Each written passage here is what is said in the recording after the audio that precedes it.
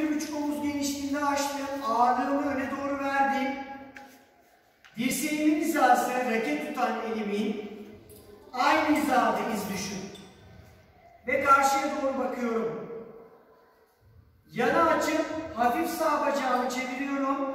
Bunu bir saat 3 yönü gibi düşünebilirsiniz. Saat 3, saat 12. Bu benim forendim. Tekrar merkeze geldim.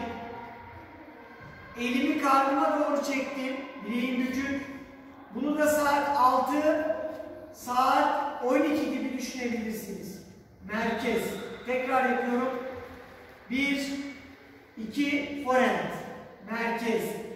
1, 2, bekent. Merkez.